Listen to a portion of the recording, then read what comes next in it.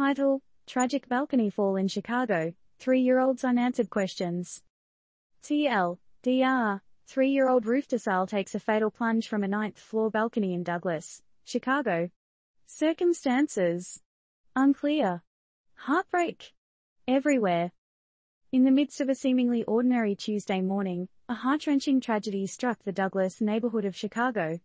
Rufda Sahle, a toddler barely three, took an unexpected and fatal fall from her ninth floor balcony around 11.45 am with a location pinned to the 500 block of East 33rd Place. One can't help but wonder, what led up to this catastrophic moment?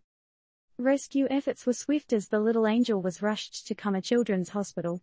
Yet, despite the best medical efforts, the curtains drew on her short life, leaving a void in the hearts of many.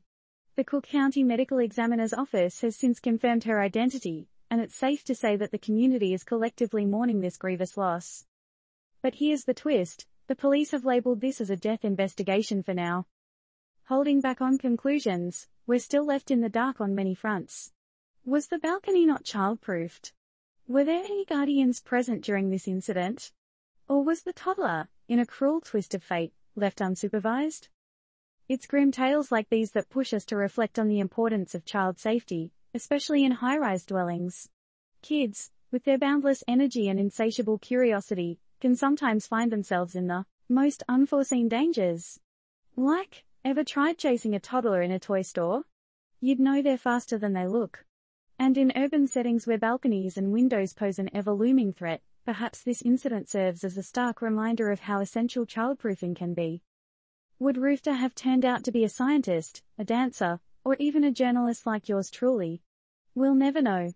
But it begs the question, how many more Rufdas do we need before everyone realizes the crucial importance of child safety? But here's the question we want you to ponder upon. While tragedies are undeniably sorrowful, don't they also spotlight areas in our society desperately needing change?